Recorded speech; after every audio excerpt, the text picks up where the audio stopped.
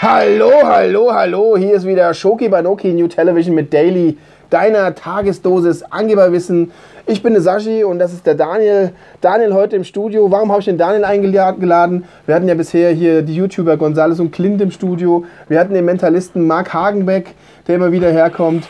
Wir haben äh, meinem Shoki Banoki Partner, den Christian. Der Daniel ist heute hier, weil ich mir gedacht habe, Du Mensch, musst noch mal einen draufsetzen. Mensch, ich möchte mal wieder schlank aussehen.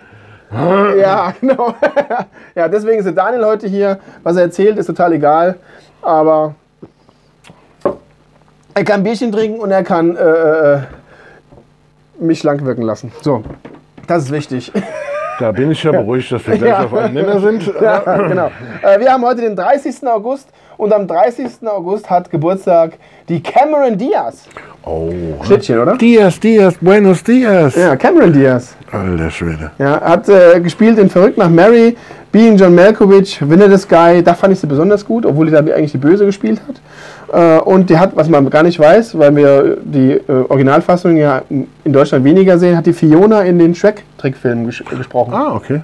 Ja. ja, aber Cameron Diaz in einem äh, Film fand ich sie nicht gut. Der mir jetzt aber nicht einfallen möchte. So ein Mist. Ja, da hat sie irgendwie so eine, so eine sexistische Sache da irgendwie gespielt. So irgendwie nur so auf, auf äh, nur so Arsch und Titten und so ein Kram fand ich blöd, fand ich blöd bei der Cameron. Obwohl sie es hat. Ja, eigentlich. Ja, ist egal. Ja. Aber am 30. August äh, ist äh, noch was gewesen. Noch was, äh, noch was spaziert. Das Bier. Das ist einfach, ist einfach nur. Wir hätten, wir hätten den Kasten nicht trinken sollen vorher. Na gut, komm. Alter. Komm hier. Wir von der Brauerei Schinkel haben uns übrigens hier das, äh, das Bier zur Verfügung gestellt. Ja, mm, Bio-Bier. Es ist, ja.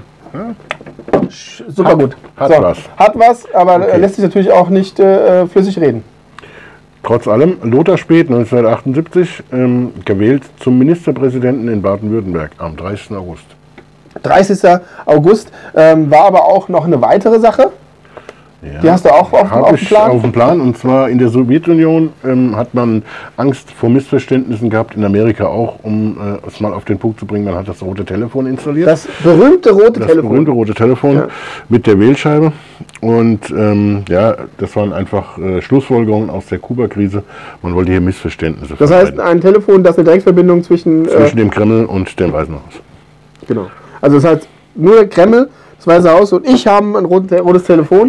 Ja. Und wir drei können miteinander telefonieren. So sieht's aus. Ja, genau. Das ist ja, ist ja wichtig. Also wenn irgendwas entschieden werden muss, dann muss ich natürlich auch mit dabei sein. Müssen klar. alle nochmal mit hier Rücksprache halten, ist ja ganz klar. Das war der 30. August. Am 30. August haben wir ganz viel äh, gelernt. Und äh, morgen äh, sehen wir uns wieder. Bis dahin könnt ihr den Kanal liken bzw. abonnieren und dann freuen wir uns. Cheerio, Miss Sophie.